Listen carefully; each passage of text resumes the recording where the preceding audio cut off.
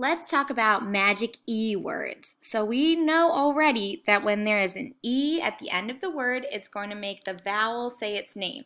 So when there's an E at the end of the word, you're going to hear the vowel say its name. So the vowel may say A, E, I, O, or U, depending on the word. So we're going to go through and um, review two pictures together and I'm going to have you write your answers in your homework journal so that, uh, we can check them at the end of this video.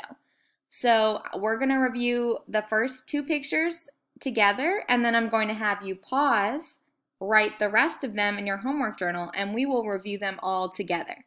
So let's start with this first word here. I can see it's a robe. Already I'm hearing when I'm thinking about what the word might be, I'm hearing O, the O sound, robe. That's a good hint that it's probably going to have a magic E at the end because I can hear the vowel saying its name.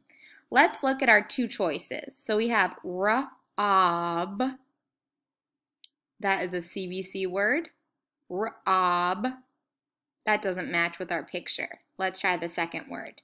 I see there's an E at the end. That's going to make the O say its name. So ra'ob robe. And that looks correct. So I'm going to go ahead and highlight that. You could circle it or write it in your homework journal. Let's try the second picture here. This is the number nine. Nine. Again, I'm listening to see if I can hear the vowel saying its name. And I believe I do. The, the I is saying its name. Let's check our two choices and see which one looks correct. So we can first try our, our CVC word, which is going to have our short vowel sound in it because there's no E at the end to make the vowel say its name. So it's n, i, n.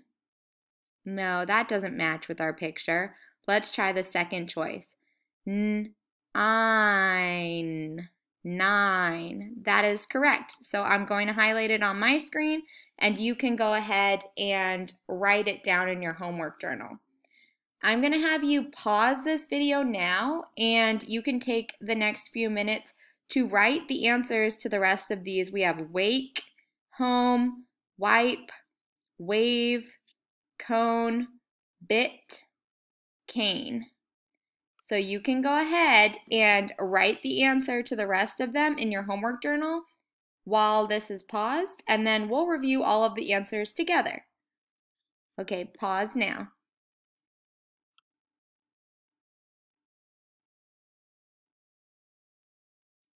Okay, I hope you've had a chance to complete the rest of your answers. Let's go over the rest of them quickly together.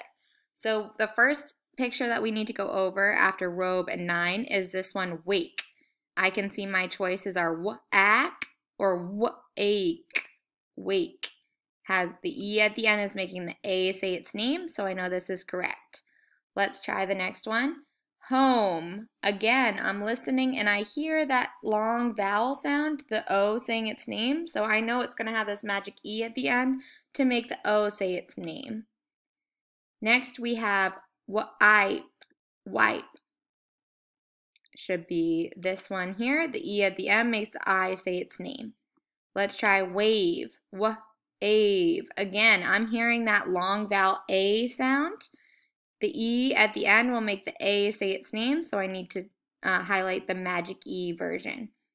Cone, cone. Again, another magic E sounding um, word because I hear the long vowel there. So I'm going to highlight cone. Next we have bit. This is a trickier one. But it, bit. This is different than the ones we've done so far because I can tell that the short vowel here is the sound I'm hearing, not b-ite. I'm hearing b-it, like that inchworm that we practice. So b-it is a CVC word, and that should be the answer for this one. And finally, we have cane. Cane, cane. I hear an A sound there, so that means I know it's a long vowel. The E at the end is going to make the A say its name. I hope that you had a chance to check all of your Magic E or CVC words. And um, if you had difficulty with any of them, feel free to go back now and fix any of the words that you wrote incorrectly. I'll see you soon.